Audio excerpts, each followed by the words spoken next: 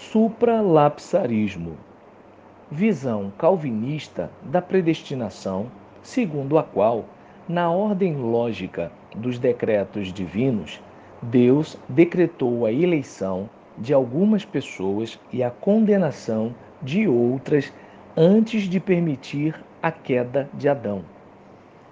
Assim, o decreto da eleição é supralapsarista. No supralapsarismo, o real se recai na forma em que Deus predestinou seres humanos não criados e não caídos, sem ressaltar a humanidade criada e caída, como no caso do sublapsarismo. Consequentemente, a visão do supralapsarista leva à ideia de uma predestinação dupla. Deus escolheu glorificar-se, predestinando certas pessoas para a vida eterna e outras para a condenação eterna. Dicionário de Teologia, edição de bolso, editora Vida.